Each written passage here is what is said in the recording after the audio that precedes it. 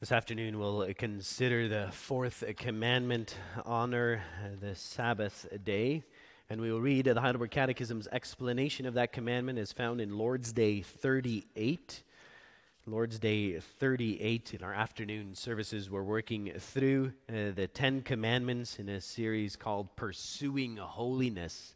Uh, so, seeing the law of God as uh, a way of the life of thankfulness. Um, how do we become, by God's grace, through His Spirit, a more Christ like?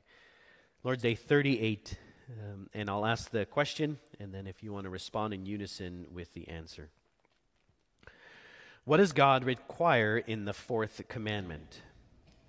First, that the ministry of the gospel and the schools be maintained, and that especially on the day of rest, I diligently attend the church of God to hear God's word, to use the sacraments, to call publicly upon the Lord, and to give Christian offerings for the poor.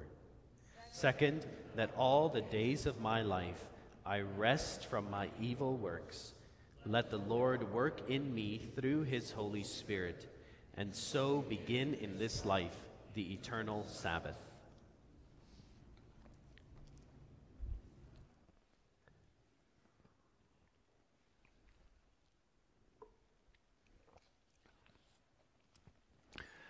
Beloved brothers and sisters of Jesus Christ, if we are going to pursue holiness, we must learn to understand this commandment rightly and renew our appreciation for it.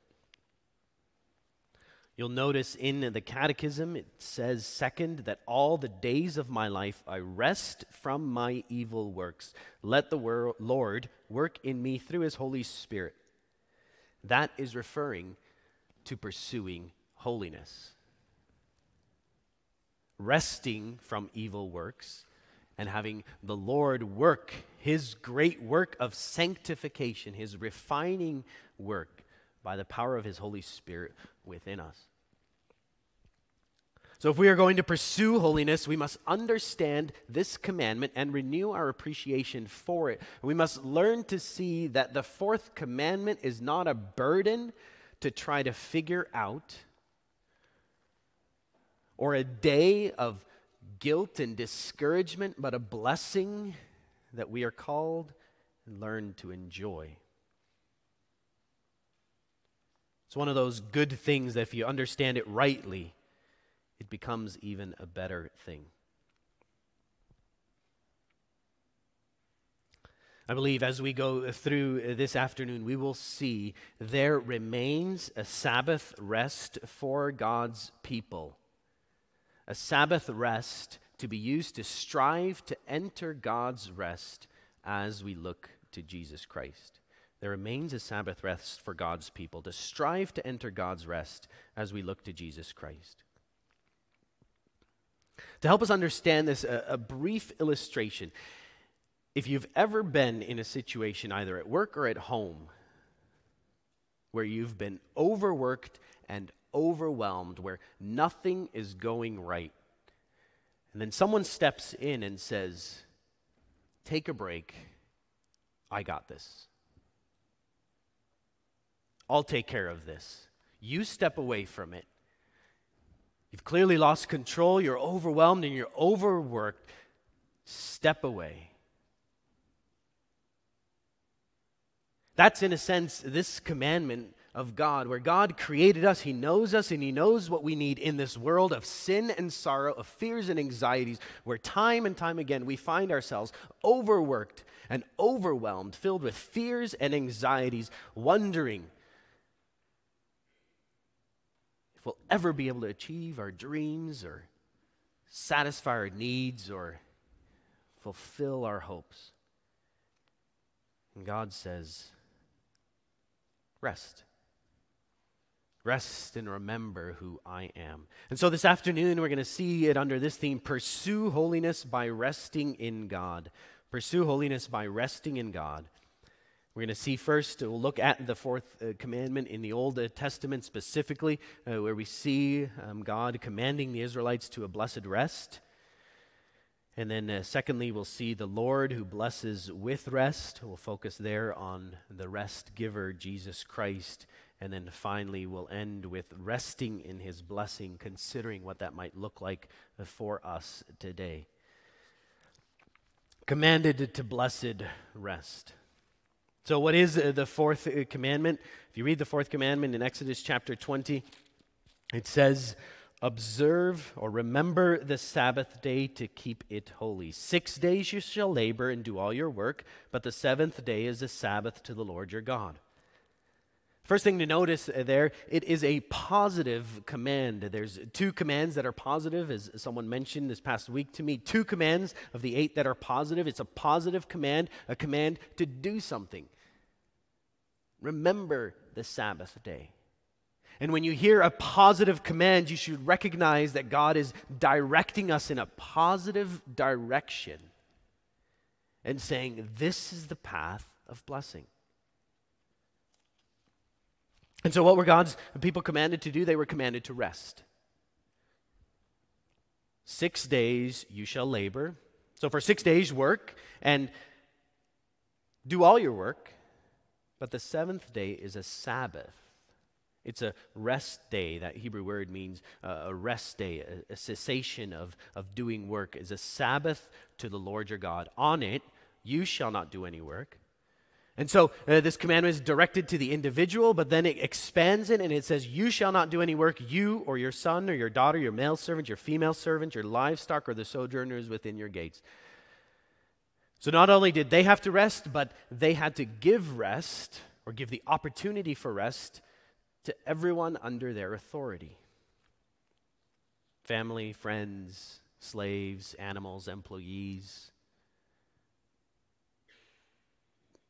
For six days you shall work, and on the seventh day is a Sabbath to the Lord your God. You will not work, and you won't make anyone else work for you. So God's people were commanded to, to rest, but notice it's not a rest where God says, I'm giving you a lazy personal self care day. No, it says, but the seventh day is a Sabbath to the Lord your God.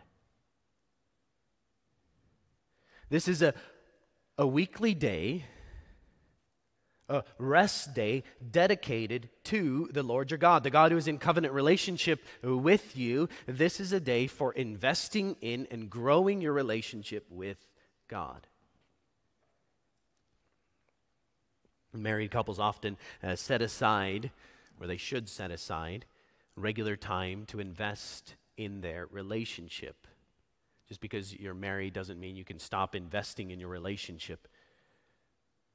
And similarly, here God says, I am, in, I am the Lord your God who is in a relationship with you, and once every seven days you will rest and we will invest in that relationship. On this day, all of the cares and the worries, the joys and the sorrows, all of the distractions of this world will set that aside, and the vertical relationship with the God who made you and the God who loved you will come into the foreground a date day, if you will. So the people were commanded to rest and commanded to rest in order to invest in their relationship with the Lord God. Now, the Ten Commandments, they show up in the Old Testament twice. Uh, first in Exodus chapter 20, and the second time in uh, Deuteronomy chapter 5. And there's two different reasons given for this rest day. The first reason uh, we see in Exodus chapter 20, 4 in Exodus chapter 20, verse 11, for in six days the Lord made heaven and earth, the sea, and all that is in them, and rested on the seventh day. Therefore the Lord blessed the Sabbath day and made it holy. And so God says, uh, On this day you shall rest. Why? Because this is a creation pattern where God created the world in six days, and then on the seventh day he rested. And what does it say in Genesis chapter 2? He actually did something to that day. Genesis chapter 2, verse 1 and 3. 1, 2, and 3. He says, God blessed the seventh day and made it holy. He created days one through six, and then this day where he doesn't create, he blesses it. He, he fills it with blessing. He says, This is a day that is blessed by me. And so God commanded in Exodus chapter 20 six days you shall labor, the seventh day you shall rest. Why? Because I've blessed this day. You can rest and you can invest in me. Why? So that you may know the blessing of who I am, the blessing of the Creator God. The second reason in Deuteronomy chapter 5 uh, that God gives is observe the Sabbath day. In Deuteronomy chapter 5, verse 15, he says there, You shall remember that you were a slave in the land of Egypt, and the Lord your God brought you out from there with a mighty hand and an outstretched arm. Therefore, the Lord your God commanded you to keep the Sabbath day. So, in other words, observe the Sabbath day because you are no longer slaves. For 430 years, 430 cruel years, you were slaves to the oppressive Pharaoh who made you work day in and day out and day in and day out. And you cried out and you said, Lord, help us. Lord, free us. Lord, give us rest. Save us from fr- slavery because we are overworked and overwhelmed. Where are you, God? And then God says, I freed you. I made you who were slaves, I made you free people. And so observe this day of rest to remember that you are not slaves. You are not slaves to an oppressive master. You are not slaves to have to um, earn your own life or earn your own way. No, you are my children. So rest on this day. Rest and invest. Rest and recognize that I'm the God who created this world. As much as you can do, and as much as you can work, and as much as uh, you can accomplish, I am the God who, by the power of my word, created everything in six days. If you're overwhelmed with work, just pause and think of who I am.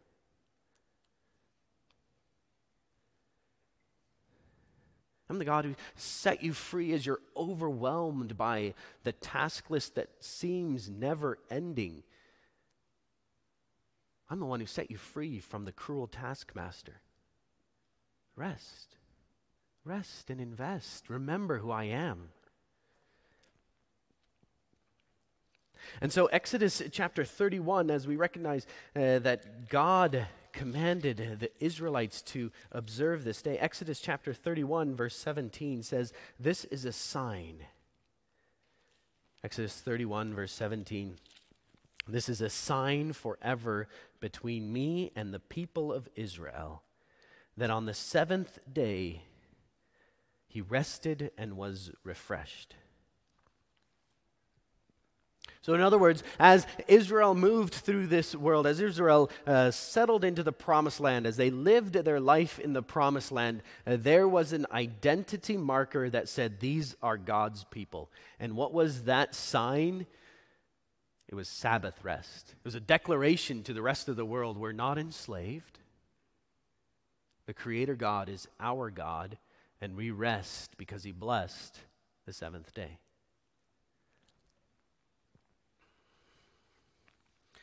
It's actually remarkable that in uh, Exodus 31, verse 17, it says, The Lord made heaven and earth on the seventh day. He rested and was refreshed. God was refreshed. You may wonder, well, what does that mean? The Hebrew literally means to breathe freely or to catch your breath. A day where the breath isn't needed for anything else except resting. For six days in creation, God's breath was used to breathe creative life into the world. And on the seventh day, he rested and breathed freely for no purpose whatsoever except to rest and refresh. And so, as we think about the Old Testament commandment, the fourth commandment, the commandment, observe the Sabbath day to keep it holy, recognize the beauty and the blessing that God has given to the people of Israel in this commandment. Jesus said, we read from Mark chapter 2, verse 27, the Sabbath was made for man, not man for the Sabbath. In other words, uh, this day isn't some day that is Lord and Master over humanity. It kind of governs our life and tells us what we can't and can't do. No, this day was a gift given to humanity, gift given to the Israelites to say, here, this is a day for you. For you to rest and invest in the relationship with me so that you don't get lost, so you don't, don't get enslaved, so that you don't get confused.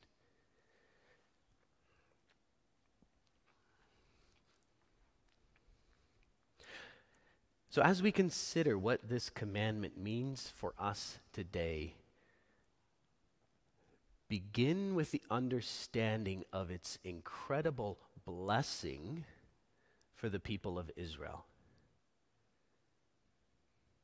And as you approach the question of this commandment, it shouldn't be from the perspective of, must we do this? But what an incredible day. What an incredible gift. What an incredibly gracious God and an understanding God who knows who we are and who knows how prone we are to wander, who recognizes how quickly we get caught up in all sorts of things and overworked and overwhelmed and panicked and anxious and fearful. What a blessing it is that this compassionate, understanding, and gracious God said, Six days you shall work, and then that seventh day, let's rest and invest so that you can regain your perspective.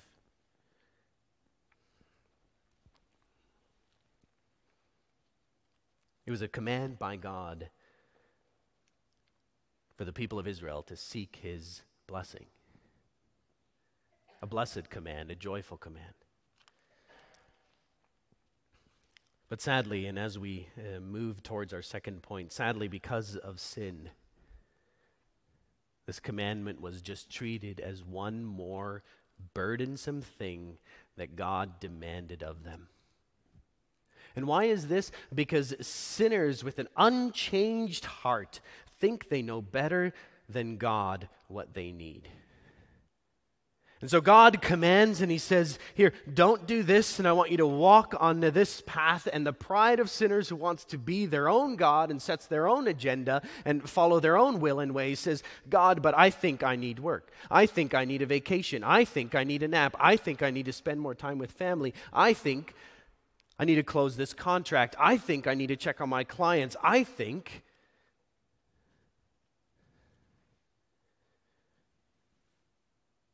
I don't think I need to worship you today in order to find rest. I'll take the rest.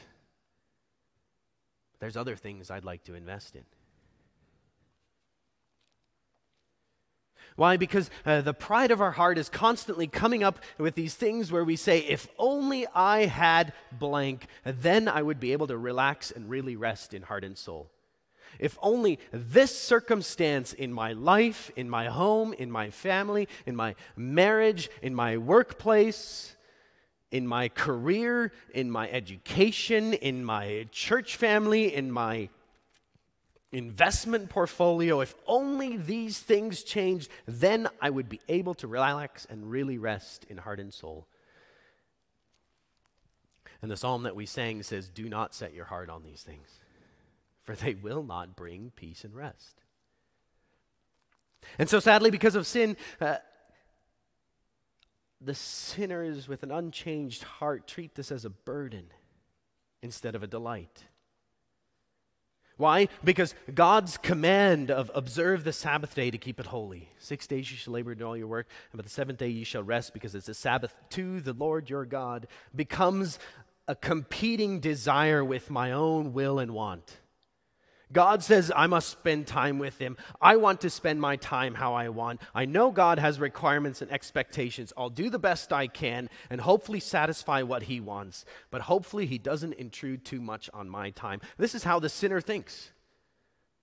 And so, what does the sinner do? What did the ancient Israelites do? Uh, they, they struggled to juggle them and they created rules around them. And the day became an incredible burden because the desires of sinners competed with the will of God. Because sinners find try to find blessing anywhere but in God alone. And so what happened in the Old Testament? Israel began to treat the Sabbath as a self-care day. Isaiah 58 verse 13 through 14, uh, the passage that we read, they went their own way, they sought their own pleasure. They thought, this is great. This is exactly what we need a day just to relax and do what we want. And God says, no, no, no. You've lost sight of the Lord of the Sabbath. You've lost sight of the God who created the heavens and the world. You've lost sight of the God who set you free from slavery. And you think that you are the one that has the power and the glory uh, to create and to restore and to set you free. You are the one who thinks you can work your way out of being overworked. And so Isaiah 58 says, If you turn back your foot from the Sabbath, from doing your pleasure on my holy day, and call the Sabbath a delight, and the holy day of the Lord honorable. See, this is how God wanted the Old Testament Israelites to understand the day a joy and a delight. A holy day, a day set apart to the Lord, an honorable day. And if you honor it by not going your own ways or seeking your own pleasure or talking idly, then here's the resulting blessing that will be established as you walk on this way. You shall take delight in the Lord you will begin to see the glory of the Creator God of heaven and earth. You will begin to see the incredible power and grace at work uh, towards those who turn to Him and trust in Him, setting them free and making, uh, lifting the valleys and lowering the mountains and making their way smooth.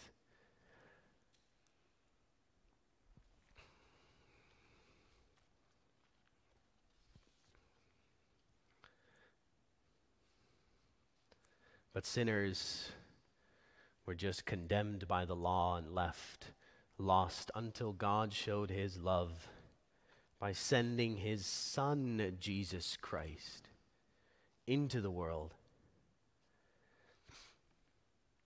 So that that investment of relationship might be focused on the person of the Son of God, Jesus Christ. And Jesus, when he came in Mark chapter 2, he said, I am the Lord of the Sabbath. It's a powerful statement if you recognize what he is saying. He's saying, I am the Lord of the Sabbath. As you think about this Sabbath day as this day of rest, I'm the Lord who made it. The Sabbath to the Lord your God, I am the Lord of the Sabbath. This day is mine. I'm the one who gave it to you. I'm the one in whom you are called to find your rest. I am the rest giver. Matthew 11, verse 28, he says, Come to me, all who are labor and heavy laden, I will give you rest. You see, what Jesus Christ is teaching is, is, is if we take these commandments and separate them from God, we will never find rest. You can be the strictest Sabbatarian with all of the rules and regulations surrounding it. Passionate about making sure you don't lift a finger on that day, but if you don't know the relationship or have a relationship with the Lord God through Jesus Christ, you won't find rest. And that's why Jesus Christ came. Because why do we have unrest? Why do we have fears? Why do we have anxieties? We've lost sight of the God who is in control. And we think it's up to us our way, our will, our ability. And so we put our hopes in the wrong kingdoms and the wrong gods, and sin separates us from the God of true and eternal rest. Jesus Christ came to earth to conquer sin and death. On the cross, he died, and on the third day, the first day of the week, he rose from the dead. And he says, Trust in me, and by faith in me, you will have peace with God and find eternal rest. If you look to me and to my cross, if you look to me and see the risen and ascended Lord Jesus Christ, my spirit will be at work in you, and it will take your heart of stone and it will turn you into a heart of flesh. And it will take all of those false hopes and wants and dreams where you continuously uh, put uh, in uh, things that will not bring rest, and it will teach you and train you, and you will, it will be transferred to the God of rest.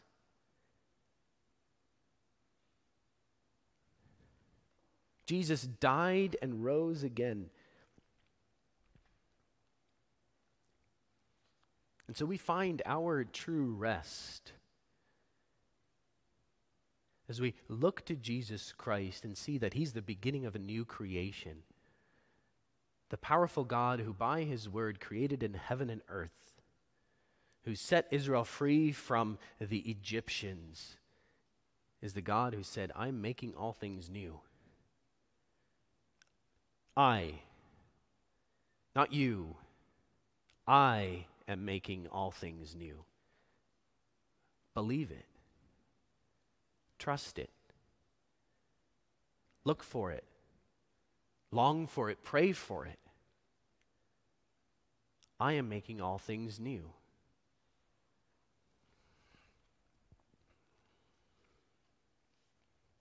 Our ultimate eternal rest, and the Catechism talks about this, and so begin in this life the eternal Sabbath. Our ultimate and eternal rest is found as we uh, focus and learn to trust so completely in Jesus Christ that we don't worry or fear about our life, that we can stand up to a king and say, We don't have to answer to you, but God will do what he wants. We won't bow down to this image. That we don't have to fear about the past, about our sins or the, the guilt or the shame of sin. Why? Because Jesus Christ has paid for it and covered it. That we don't have to worry about what's happening in the present or what's going to happen tomorrow or the, the day after. As we look to Jesus Christ, we recognize our hope and our life and our future and our rest is bound up in Him. And so we sh- can say with the psalmist of Psalm 73 My flesh and my heart may fail, but God is the strength of my portion forever. My heart and my flesh may fail, but God is the strength of my heart and my portion forever. Or Psalm 16, verse 11 You make known to me the path of life. In your presence, there is fullness of joy. And so Jesus Christ says, Look to me, come to me, and I will give you rest rest of body and soul. And so that's the age that we are in, where Jesus Christ has taken this promised Sabbath rest, where God says, Rest and invest in my relationship with you. And Jesus Christ, the Lord of the Sabbath, has come to earth and has said, This is who I am. This is where you find rest. So, how do we, as we move to the final point, find our rest in Him? Augustine famously said, My heart is restless until I find rest in you. My heart is restless until I find rest in you. Our hearts don't yet rest perfectly and completely in God.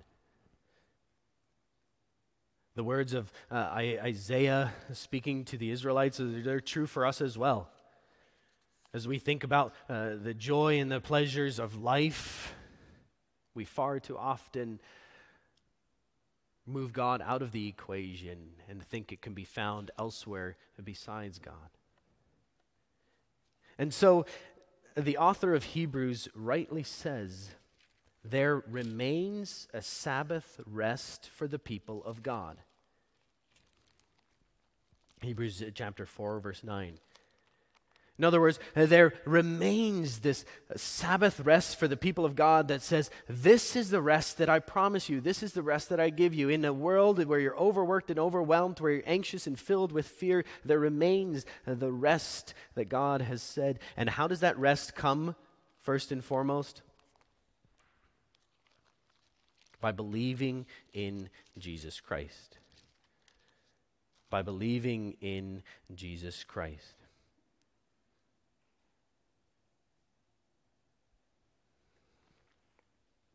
So we find our rest in Jesus Christ. And Hebrews 4, verse 11 continues. It says, Let us therefore strive to enter that rest. Let us strive to enter that rest. Let us strive more and more to grow in faith and knowledge of our Redeemer. Let us strive more and more to grow in all of the anxieties and fears and concerns of this world. Let us strive to know more and more how Jesus Christ is the true rest giver.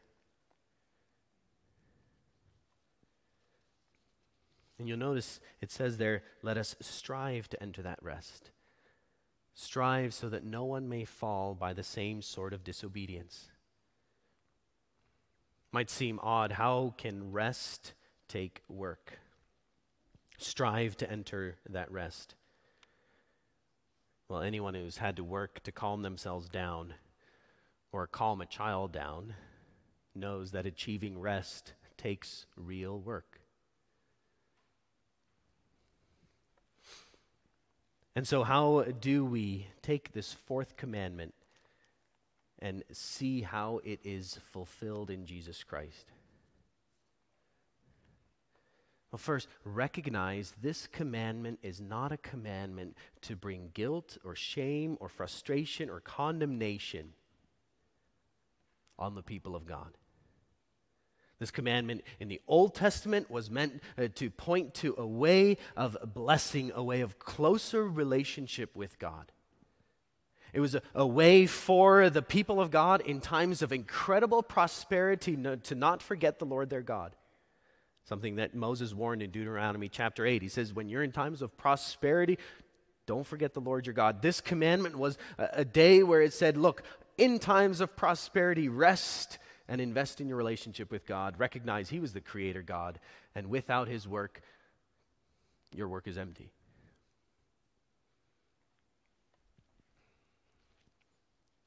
To recognize the blessing of this commandment, that it is not a commandment uh, to bring into condemnation or judge, and then in the New Testament era, embrace the principle of this commandment.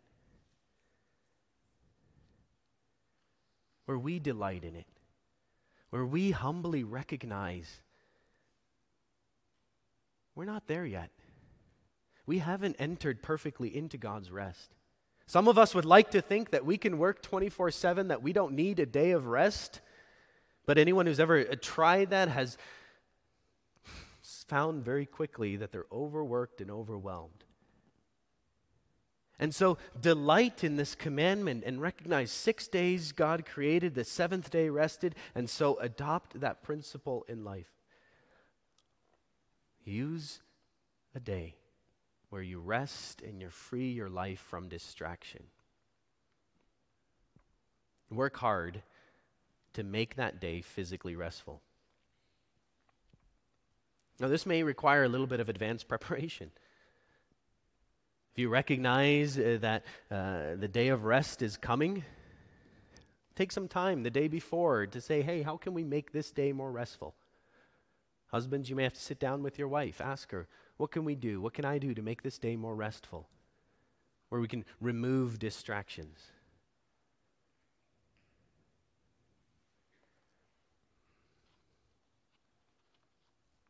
Do everything also that you can do to give that rest to others.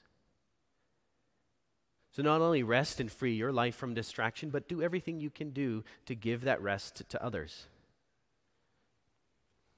It's abusive to demand rest for yourself and force others to work.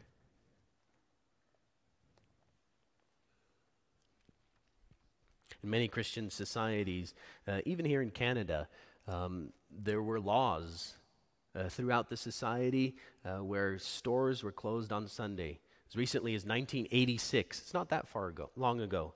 1986, the Supreme Court of Canada upheld Ontario's law requiring most stores to close on Sundays. So, kids, ask your parents, your grandparents maybe, how many shops were open on Sunday? Why? Because we're going to be a society where we give everyone a break, where we rest.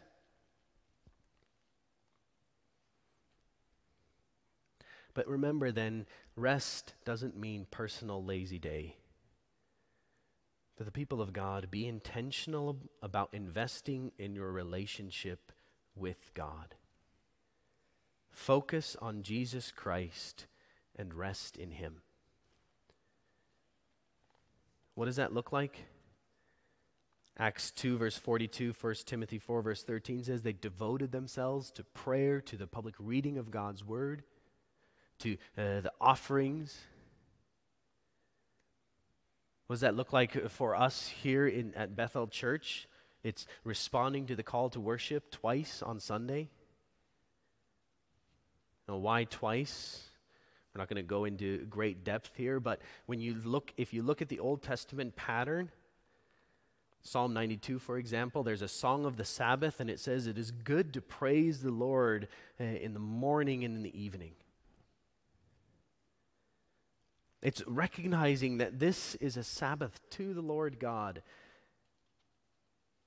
And if the day is about investing in relationship with God, we use that day for that purpose.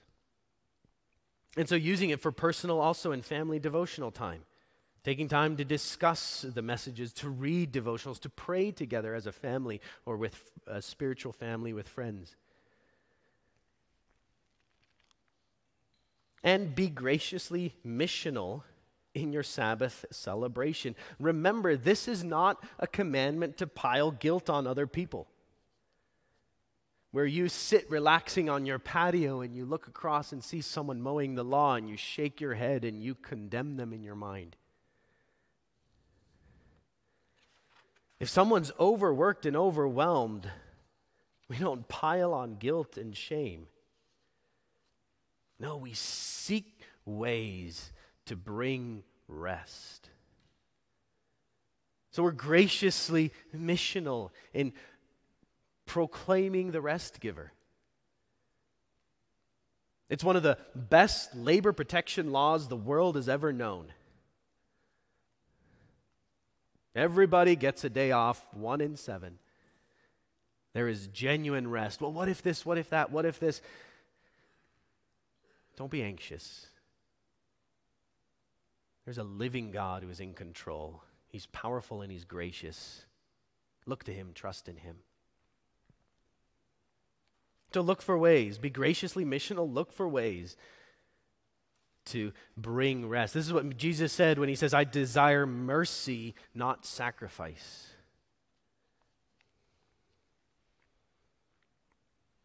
And then finally, don't be overly concerned about what specific day a society may use to celebrate or use for this day. I think it's clear if you look throughout history that in nations where Christianity shapes society, the first day of the week becomes that day. Why? Because it celebrates the day where Jesus Christ gave us eternal rest. We begin uh, with celebrating the resurrection, recognizing we find our rest in Jesus Christ, reminding us that we find our rest in Jesus Christ. We begin by removing all distractions and beginning this new day in the confident joy of the salvation that we have in Jesus Christ. But there are nations, Iran, for example, where Friday is the day off. And what do many churches do on Friday? They rest and worship. Why? Because God said, Six days you shall labor and do all your work, and the seventh day you shall worship. You shall rest.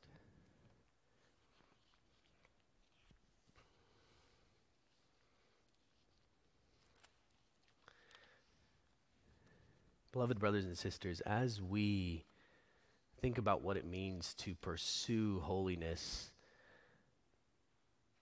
it begins with investing in the relationship that we have with God.